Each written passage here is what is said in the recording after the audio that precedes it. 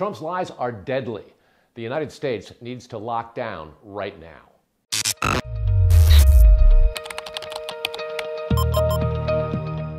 Welcome back to FrontPageLive.com. I'm Carl Cameron.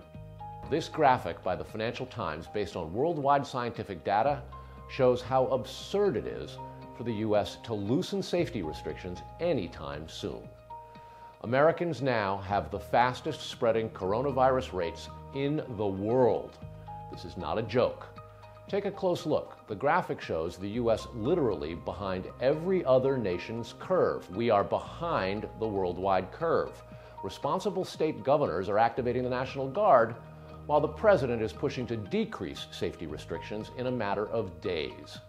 Trump has to put the pandemic first. His wishful thinking that this pandemic will disappear quickly could cause hundreds of thousands of needless deaths. Americans deserve leaders who don't drag their feet and downplay a public health crisis. This country was founded with a declaration claiming an inalienable right to life, liberty, and the pursuit of happiness. Presidents take an oath to protect and defend the Constitution and the nation. Trump needs to act like one.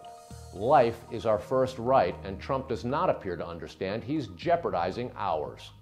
Thanks for visiting FrontPageLive.com. Share us on social media and tell your friends and family because they need to know the truth too.